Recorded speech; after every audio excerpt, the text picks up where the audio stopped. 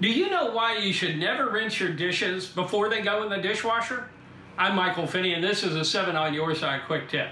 Look, I know your mom always taught you to pre rinse, but that was then, this is now, and things have changed. Let's start with the dishwasher itself. They're actually high tech and measure the dirt. If there's not enough dirt there, it shrinks the wash cycle and it can shrink it so much your dishes don't get clean enough.